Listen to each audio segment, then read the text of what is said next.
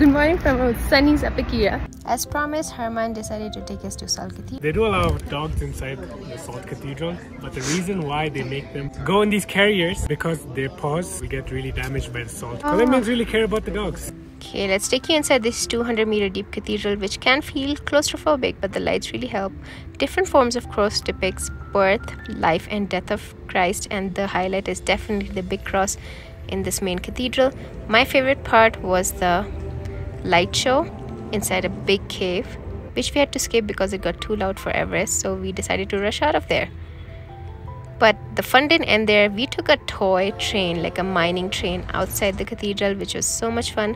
Everest was so happy to get some fresh air. And we were finally reunited with our puppy Bali. It was time to say bye to our amigo Herman, who showed us some amazing Colombian hospitality. My Harry for you. thank you, thank you for coming out of nowhere.